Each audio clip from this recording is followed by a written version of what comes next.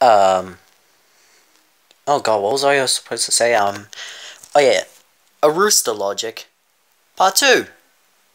Now the part one had the disabled comments, so I didn't see what comments you guys had, but so of rooster, well, not rooster logic, sorry, squirrel logic. Okay. oh my god, there's a car coming.